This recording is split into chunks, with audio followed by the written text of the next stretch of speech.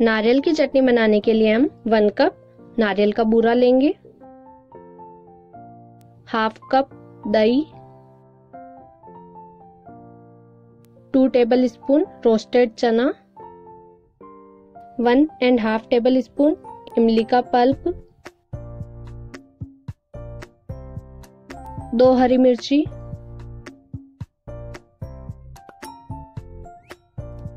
इसमें हम half cup जितना पानी ऐड करेंगे।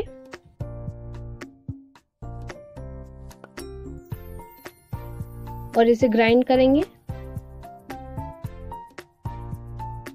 इसमें मैं वन कप जितना पानी और ऐड कर रही हूँ। ये मैंने हाफ़ हाफ़ कप करके दो बार डाला है।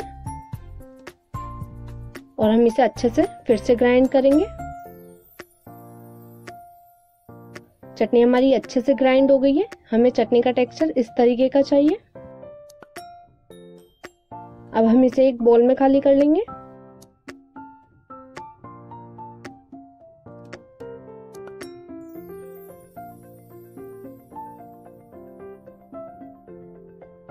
अब हम इसमें तड़का लगाएँगे।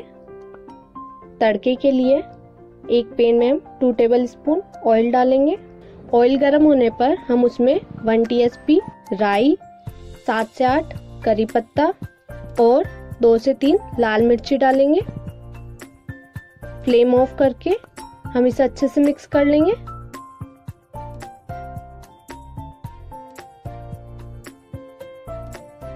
और इस तड़के को चटनी में डाल देंगे।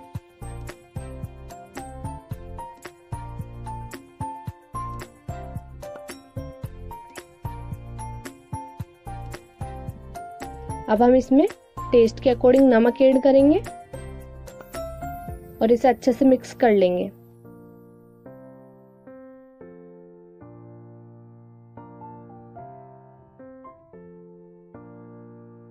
तो तैयार है हमारी खोपरे की चटनी। If you like my video then please like comment share and subscribe to my channel thank you.